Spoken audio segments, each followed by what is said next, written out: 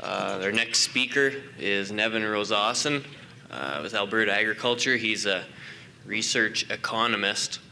He's a farm boy from eastern Saskatchewan. He goes home and helps with the farm. Um, he's well-educated guy. He's held positions with the United Nations, uh, Canadian Wheat Board, which we won't hold against him. Sorry. Comments are my own, not Farming Smarters. And uh, his, yeah, he's currently uh, conducting economic, market, and statistical research related to the competitiveness of Alberta agriculture. So without further ado, is, oh, there you are. Sorry, I didn't see you. You're sneaky. Here's Nevin.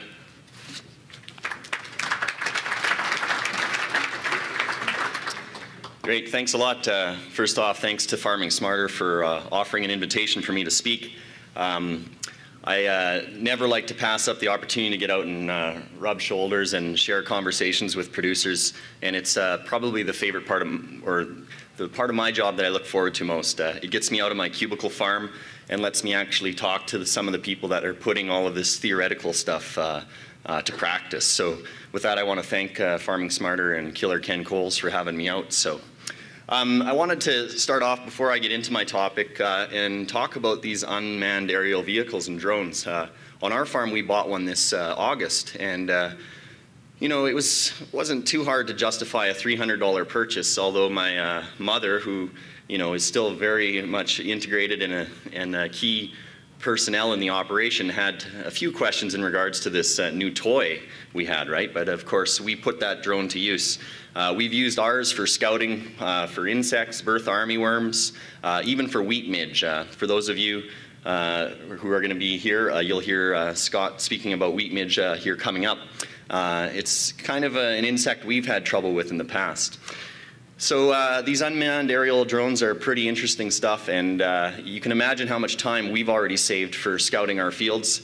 If you do a proper scout uh, uh for bertha armyworms, you know how tough it is to, to trod through uh, the canola and do a, an actual scouting uh, you know, path that you're supposed to complete to have an efficient and accurate count on armyworms. So We've used it for scouting uh, in the hot part of the day, flying across. We've also used it for aerial photos. My dad even uses it to look inside the top of the bin so he doesn't have to climb the ladder. He just flies it up there. So for those of you who haven't bought a drone yet, 300 bucks, it's a drop in the bucket compared to your costs. And I would say buy one. Uh, better to buy it and ask forgiveness later from the Federal uh, Aviation Authority, whoever's going to bring in the rulings of whether or not they're legal. But uh, I'd say go out and grab one as soon as you can. So my title was Farm-Specific Economic Thresholds for Pest Managements. And, uh, you know, I had a few people ask me, well, what, what does that mean, farm-specific economic threshold? And basically it comes down to the question, to spray or not to spray? Do you keep the sprayer in the shed or do you pull it out? So I'll give you a little bit more of background on our operation. We farm about 2,000 acres now. And uh, we had to make the decision whether or not we were going to buy a high clearance uh, field sprayer. And you know, my brother, who is kind of the main operator on the farm now, uh, was quick to say, yeah, we need one. We need a high profile sprayer, the best John Deere you can buy. And uh, I'm going to go start pricing them out. And you know, I had kind of left the farm, or at least the, as the principal operator in 2008 when I went back to get my master's degree. And until then, I'd been pulling an old uh, you know, Bourgault 500 gallon tank around and I was dragging tires in the, the field because we couldn't even afford uh, foaming markers, right? We were living off depreciation and my unpaid labor throughout the 2000s. So you can imagine when I leave the farm and we start buying all of this equipment, new combine, a big industrial grain dryer instead of the batch dryer, well, I start to think about the numbers and start to crunch the numbers. And, uh, you know, we decided to buy this uh, new 4730 and uh, then we decided we needed to put it to use. So I'm going to go through a few different things, and I know in the summary of the presentation it said I was going to use partial budgets, and we'll get to that later because it is an important thing. But first off, what is an economic threshold? So here I downloaded uh, this this morning, and I wanted to thank Randall for his uh, speech on procrastination because that's kind of the way I fly by the seat of my pants. So I downloaded this uh, picture this morning, and it's got all your economic thresholds right there. So you can look at whether it's in wheat and you're looking at cutworms here in the south, or for canola, bertha armyworms. I'm going to be using that quite often in this presentation. Or if you're looking at flea beetles, right? When should you spray? To spray or not to spray? Well, there you go. You got it. There's your economic thresholds, and I'm done, right? You can get them off the internet, and if you're a producer or an agronomist, you can give recommendations and make the decision. However, I'm going to dive a little bit deeper because if you look here, it's probably hard to see, but in the canola section, it says for bertha armyworms, usually 20 to 30 larvae per square meter, but ranges from 10 to 35 larvae depending on the price of canola. That's a huge factor, right? If you're looking at 2003 prices, when it was under five bucks a bushel, that's the prices I remember, right? You didn't spray. But when you're looking at a futures price in August, uh, you know, off of ice at uh, 12.50, 13 bucks, well, that really weighs into your decision making, right? So, you know, often you'll see these matrix, and I think I've got one coming up, but uh, here's a picture of that sprayer we bought, and uh, had to show it because, you know, we're, we're using it now. But, uh, you know, if you got bertha army worms, what does my dad say? Well, he says, go nuke those suckers. Get out there. Get her done. You know, they're eating the canola as fast as we can see it. And I'm sure a lot of you who have grown canola uh, know what a bertha army worm looks like because as soon as you see them, if it's your crop, your heart skips a beat because they can do serious damage. But how much damage do they actually do? So this is where we rely on all of our entomologists and our scientists to go out and to accurately build these coefficients of how much one of these suckers can eat, right? So here we have economic thresholds and uh, you got the cost of spraying, dollars per acre, simple enough on the left-hand axis. Expected seed value in dollar per bushel across the top. So if it's uh, six bucks or 16 bucks a bushel, and you just figure out how many larvae there are. You know, you grab a square meter, throw a hoop out, or shake all the crop and get out and dig under each leaf on the ground to see if you can find those hidden armyworms. Count them up, do four counts per field, and make the decision. However, as my father says, well, what about the big ones? There's some big worms and some little worms. Do they eat more than the little ones, right? And are the berthas hungrier when it's hot out?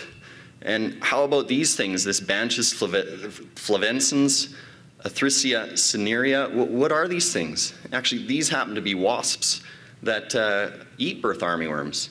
So, you know, when I found that out, my dad says, well, let, what insects eat berthas? Let's order some up. You know, let's get them out there in the field, release them, you know, let them take care of it. So these are some of the other things I want to talk about in partial budgets, is these potential beneficial insects. How can we enumerate? And as an economist, how do I put a number or a coefficient on how many berthas this thing's going to eat, right? So, you know, something to think about. So I'm going to jump over to Fusarium head blight. And uh, this is a disease that we've been fighting in eastern Saskatchewan, right? It's been blowing in from Manitoba, or maybe not, maybe just spreading. But, uh, you know, we like to blame it on somebody else. And, you know, as a Saskatchewan boy, we have a going joke, you know, why is Saskatchewan the best, or why is it so windy in Saskatchewan? Well, because Alberta blows and Manitoba sucks, right, based on the wind. But no. So, bad joke, it doesn't go over well in Alberta. So, Fusarium head blight, what is this disease and who knows about it? Well, for us, it's been a real struggle when you, you're pulling off a number one CWRS 14% protein wheat crop, and then you find out that your falling number is down and it's going to grade a feed, right? So this is a huge issue, and it's coming, and it's here already in Alberta. So you're going to be out there scouting for fusarium head blight. And I've got some text up here in regards to how to scout. Basically what it comes down to is if you've got fusarium head blight in your area, you know, I've been told you got to spray, right? And uh, know, we never had it, and then after two years of getting downgraded on our quality, uh, we decided, well, we better start to spray. First year, we might as well have just catapulted the chemical into the field because we sprayed at the wrong time, wasted a whole bunch of money. Second year, we were a little bit closer. And finally, this past year, it was night and day. We finally hit the right timing and we sprayed it in that small window of opportunity. And you know, we're only 2,000 acres, so we only sprayed 1,000 acres roughly of uh, wheat for fusarium head blight this year. But uh, our fields compared to our neighbors' fields across the road were night and day. So you can see some of the spikelet discoloration here in the photos.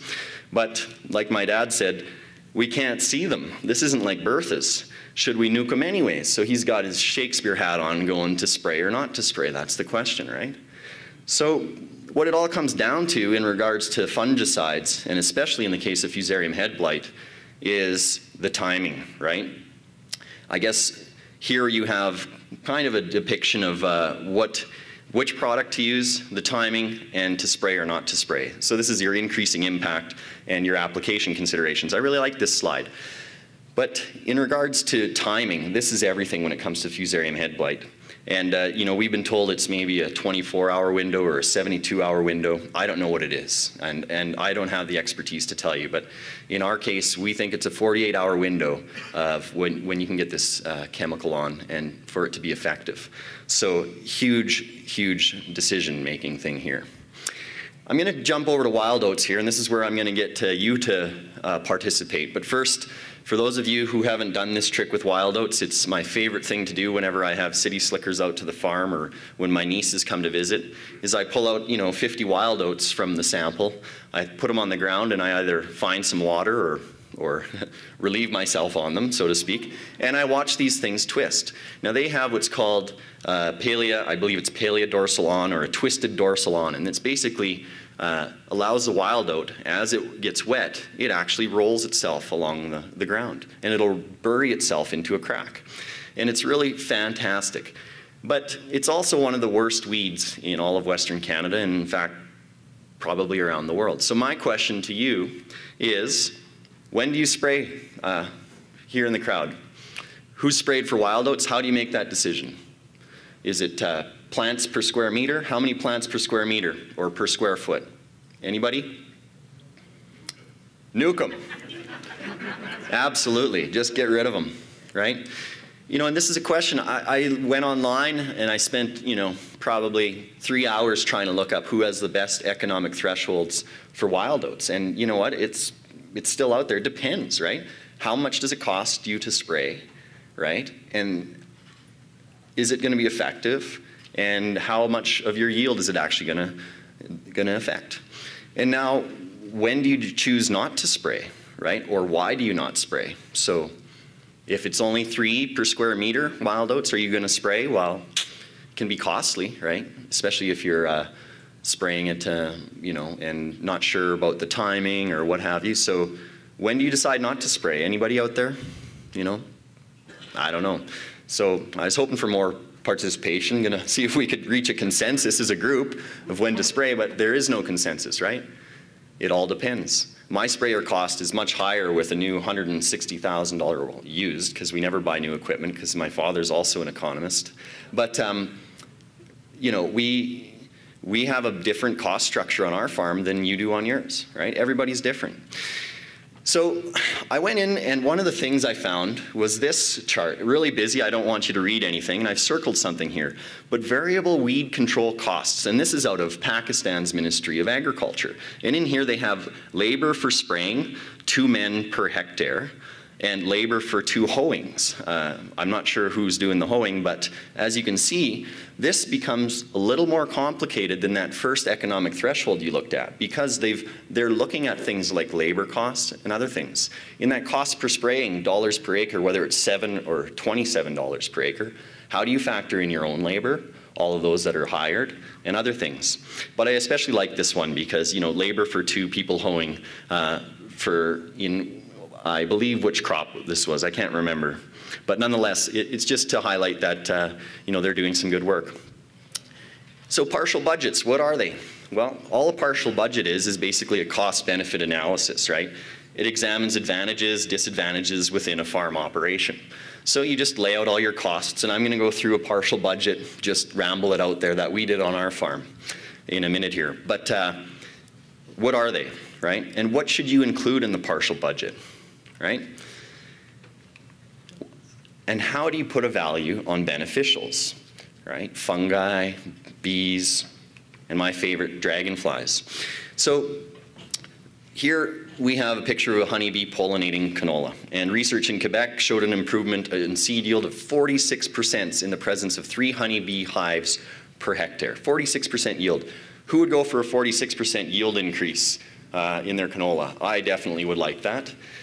And you know, when we're looking through the seed guide and we're, we're making the decision now here soon in which canola seed to order, when you see a 2 to 3 to 4% yield advantage of one variety over the other, you're sold, right?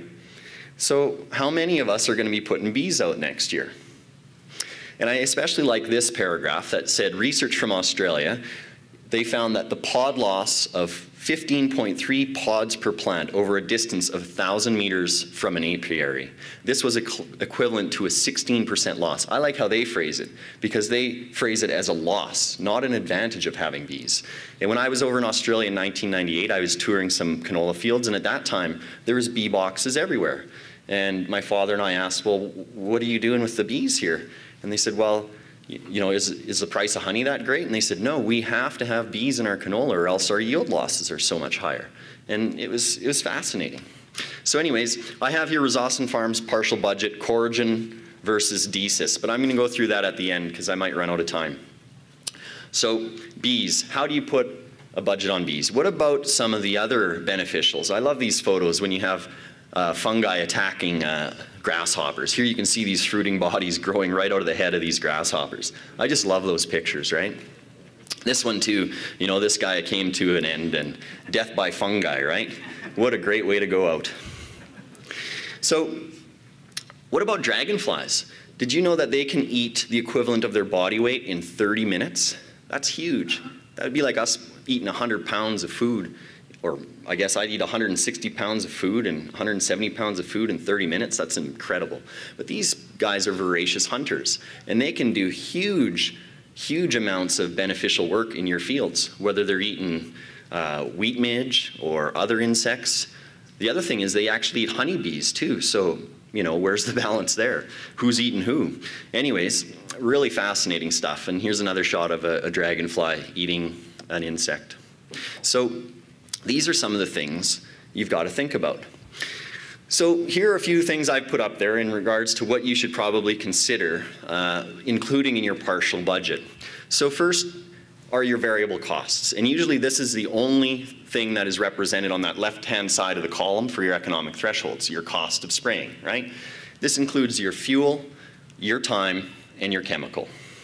Easy enough, right? What about the labor? What about your water hauler? Or uh, somebody else that's involved in that day of spraying. What about your sprayer operator if you're hiring someone to do that? Right? Now you have fixed costs too that you have to include in this budget when you're trying to figure out how much it costs you on your specific farm to spray. So your fixed costs are the cost of that sprayer, uh, the chem handler, the water truck, the water tank, all your pumps, your hoses, all the other additional stuff that you need to include, water softeners if that's the case, uh, other things like this. And I want to bring up this idea of fixed costs versus sunk costs. Your sunk costs are all these variable costs that you've already paid for and put into the ground. So the classic example is fertilizer. You put that down either in the fall or the spring, and it's sunk. It's gone. There's no way to recoup that, right? Whereas a fixed cost, let's say like a sprayer, we bought this $160,000 sprayer, if uh, commodity prices really went south and we had a blowout this year, we could have turned around and, sunk, and sold the sprayer, maybe for 120,000 bucks, right? So it's not necessarily a sunk cost, it's fixed. But that fertilizer, the chemical, the herbicide you've sprayed on that crop uh, are all sunk costs. So that's maybe something to consider too, is how much you have invested into this crop already. What are the sunk costs? Because at one point, you're not going to be evaluating whether or not you're going to be saving enough yield, right? Or, you know, if, if you've got so many Bertha armyworms and they're going to chew this much, well, the cost, you know, you have this threshold, I'm going to spray because the cost of spraying, right, those variable costs is going to outweigh or just, you know, the damage that the insect or the pest inflicts. So these are some things you got to think about. And what about payments? Well, payments on that sprayer aren't going away. So, you know, when we budget, we thought, well, we've got about 2,000 acres. On average, we'll do three passes with our sprayer on every acre a year. Uh, if you have, uh, you know, In wheat, it could be more. In canola, it could be more as well if you're spraying twice for herbicide, you're doing a pre-burn off, maybe you're doing a post-harvest burn down, or maybe you're even doing a desiccation in wheat or, or other crops. So this is something to consider. But remember, these payments don't go away. So an idle sprayer isn't making money either, right? So the other thing is, what if you decide to just let them eat? Canola now hits um, a low, let's say canola drops down to six bucks a bushel, and uh, you just say, well, I'm just going to let them eat. Uh, you know, we'll see what happens. Well, what are your neighbors going to say, right? If everyone sprayed for uh, grasshoppers and you're the only one who didn't, well, they're pretty mobile, they can move around. Uh, same with wheat midge. What if there's huge infestations of wheat midge in your area and you're the only one who decides not to spray and all your neighbors spray and the wheat midge ends up eating their crops too? So, and the other thing is crop insurance, and I'll touch on this later because that's something to consider as well. Um, environmental factors. These are hugely important, right? If you're looking at bertha armyworms uh, and you've got five days of wet, cool weather, uh, high of 12 or 13 degrees Celsius and rainy and high humidity, you know, maybe you can tolerate 15 bertha armyworms per square meter. Maybe they're not going to do enough damage. But if you've got a forecast of 25 degrees Celsius as the high and nice and sunny all week, you can be guaranteed that those bertha armyworms are going to eat a lot more. Same when it comes to your fungicides, right? If you have cool, damp uh, weather and a really thick canopy, well, uh, and a forecast for maybe more rainfall or high humidity, so probably a pretty good chance you're going to pull the trigger and spray. But if it's hot and dry and windy, and uh, you know, pretty unlikely that you're going to make the decision. So environmental factors are very important, and they need to be considered in your partial budget. The other one I don't have on here is timeliness of operation, and I'm going to cover that in my partial budget. So what about your crop insurance? What if you decide not to spray and your five-year or 10-year average, however it is that AFSC calculates your, your, your uh, insurable coverage level, what does that happen if you decide, you know, I've got a 35 bushel or I've got a 35 or 40, whatever it is. We'll say 35 bushel an acre yield history for canola. What happens if you decide not to spray and your yield drops down that year to 25? How does that affect your average? And how does it affect your yield history moving forward? So this is something you might want to consider too. Um, also, your premiums, will they go up? Do they go down? I can't uh, speak intelligently on that matter. It's, it's, it's up to you to figure that out. And what about weed banks if you decide not to go out and nuke the wild oats, right? If you've only got, you know, three or four per square meter, um, you decide not to spray them out, how does that impact your operation, right? So we know that wild oats can survive for what, 12, 14 years uh, in the seed bank without germinating. Uh, so it's something to consider. So I'm going to go through a quick partial budget that we did on our farm, and then I'm going to open it up to questions and maybe discussion. Um, you're welcome to try pick my brain, although I've told you everything I know and it didn't take me long. So I'm going to go through the choice that we made this year. We are looking at spraying for bertha armyworms this year, and we did spray. But we decided to do a partial budget. The thing is, my brother, who's on the farm operating now, doesn't like to spray insecticides, right? Nobody likes to spray them. They are a little toxic, uh, obviously, more so than herbicides. And, uh, you know, my brother said, well, I don't want to spray Decis, I don't want to spray Sevin, I don't want to spray Matador, I'm not spraying insecticides. And we said, well, we got a pressurized cab there, Nellie, and, uh, you know, you got to make the choice. And that idle sprayer isn't making money. So what are we going to do? And then we found out there is this new chemical on the market called Coragen. And it's supposed to be a bee-friendly, a pollinator-friendly chemical. And it uh, is like an eco-bran or bait where you spray it on the crop, and once the insect ingests the crop, then they succumb to the poison and they die, right? However, it, it is supposed to be a lot friendlier on bees. So we said, hmm, we should check this out. It was 15 bucks an acre compared to uh, some of the other insecticides that run about $5 an acre. So we decided to do the partial budget and say, well, let's see how much it'll cost us to spray. So we started running it through, and uh, so it was we spray Coragen with our own sprayer, or we hire the spray planes to come in and blanket 800 acres around our community with uh, Decis or Sevin or whatever chemical you, you want to choose. And they run about five bucks an acre. So starting off the hop, 15 versus five bucks, well, you know, it's pretty clear that we're going to go for the $5 one. But then to hire the spray planes was $7.50 an acre, right? And uh, we started thinking, hmm, that's a little bit. And uh, oh, we have to run the $5 chemical all the way to Yorkton, which is, uh, you know, a two and a half, three hour round trip. Uh, pick it up, drive it there, and that's some, something to consider. Or you could just buy it straight from them and they'll charge you 650. So now the cost is 650 versus 15 bucks.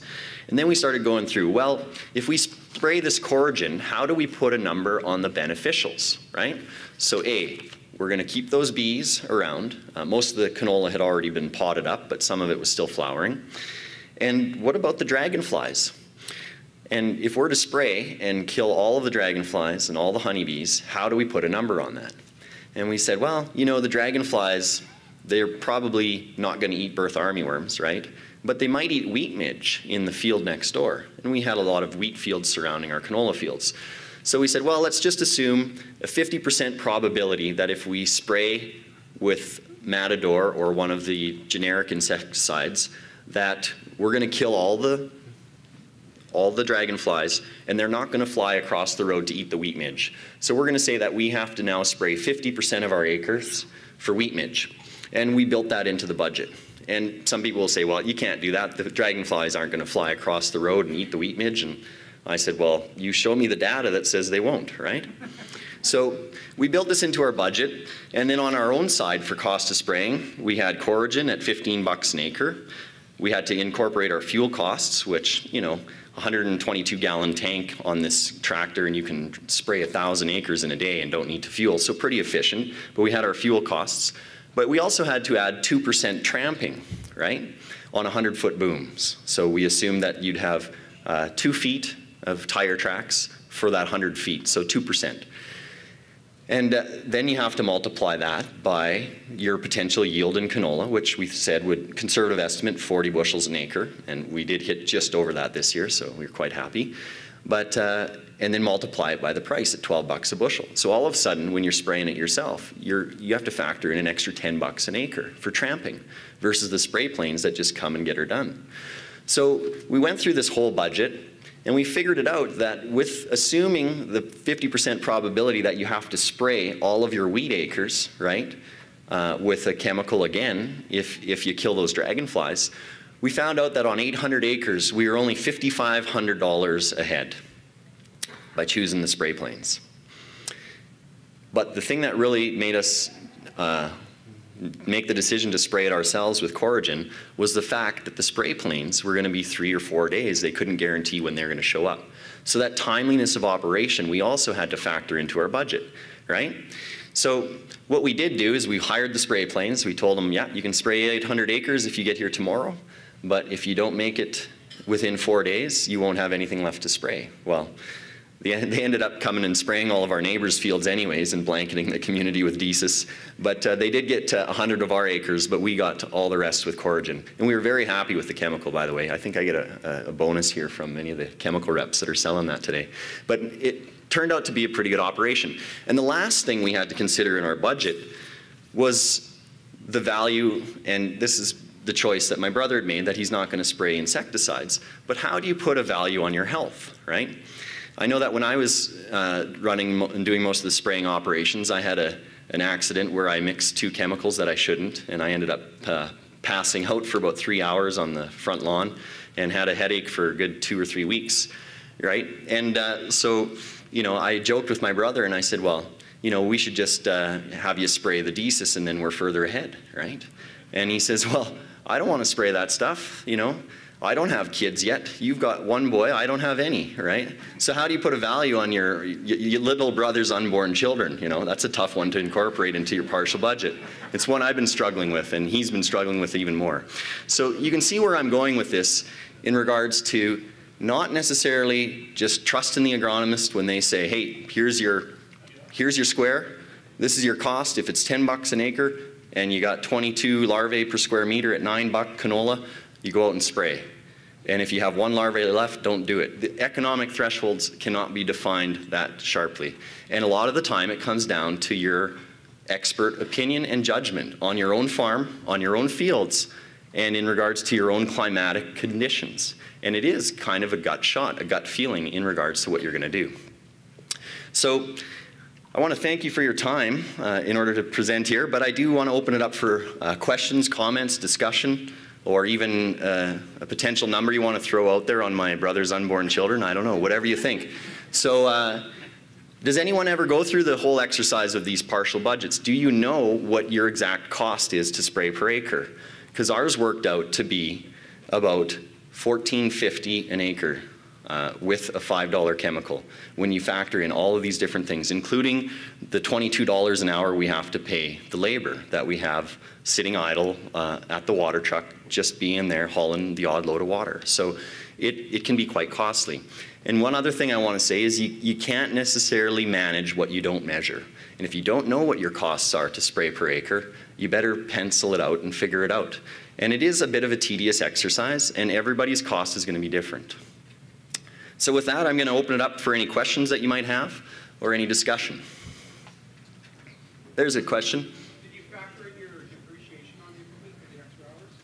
The question is, did you factor in your depreciation on the equipment for the extra hours? And uh, yes, in our budget, we had a $160,000 sprayer, uh, 4730.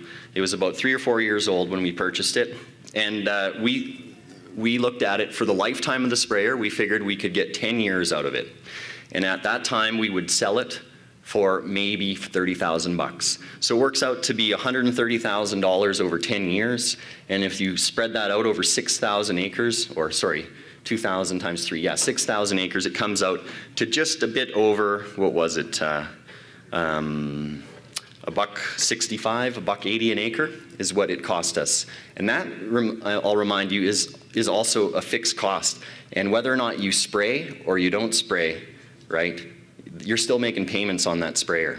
So good question, depreciation should always be factored in to your partial budgets. And it doesn't have to be perfect. You don't have to use any fancy formulas. Just add it in there.